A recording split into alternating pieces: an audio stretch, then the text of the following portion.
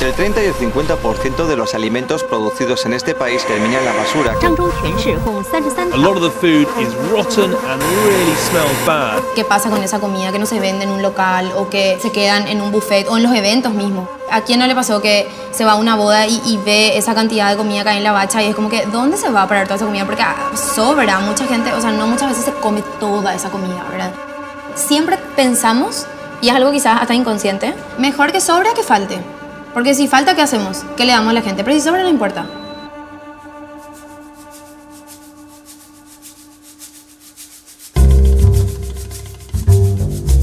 Boyao es una empresa social que nace ante la problemática del desperdicio de alimentos para poder disminuir ese desperdicio de alimentos, luchar contra ese desperdicio de alimentos y sobre todo ayudar a esas personas que, que hoy están pasando hambre o que no están recibiendo las suficientes eh, calorías necesarias eh, diarias, ¿verdad? O sea, esas personas que hoy están viviendo en, en hogares, en fundaciones, en comedores sociales. Ese es el problema que resolvemos. O sea, tratamos de hacer ese puente y, y tratar de equilibrar un poco más esa, eh, esos dos mundos, ¿verdad? Y decir, no, espera, si sobra acá y hay gente que le falta acá, bueno, tratemos de llevar un poco más esto de este lado y por otro lado también démosle un servicio y ayudémosle al local gastronómico, o sea, al sector gastronómico en general.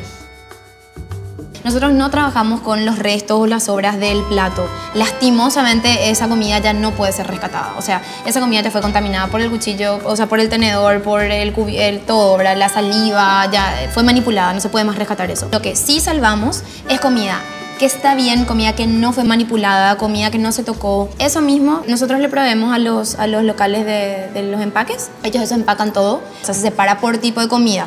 Eso ellos tienen que otra vez codificar, porque eso otra vez ellos tienen que darle salida, tienen que pesar esa comida, porque ellos nos dicen, cada local nos dice como la cantidad en kilos que nos está dando. Se mete directo a refrigeración y eso nosotros lo retiramos y, y lo llevamos y ya queda, digamos, a responsabilidad, a cargo de- del comedor, cómo administra eso que se le ¿verdad? O sea, son miles de pasos extras que un local antes no estaba haciendo.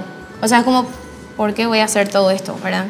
Y es simplemente porque, bueno, gracias a esto estás pudiendo beneficiar, digamos, a otras personas por un lado, pero estás pudiendo, eh, por otro lado también estás solucionando ese tema de anteriormente, bueno, ¿qué hago con esta merma?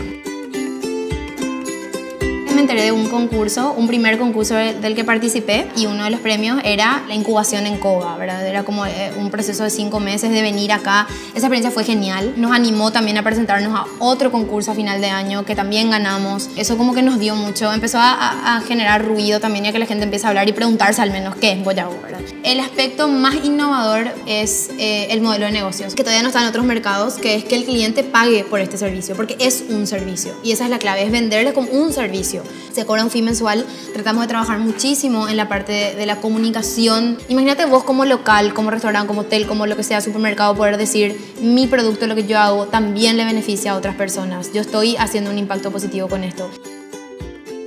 Para mí Paraguay es una tierra de oportunidades y yo creo que nosotros no nos damos cuenta de eso como paraguayos. Nos escribieron ya de Bolivia, de Perú, de, de otros países de Latinoamérica preguntándonos cómo pueden hacer para llevar un bollado a sus países.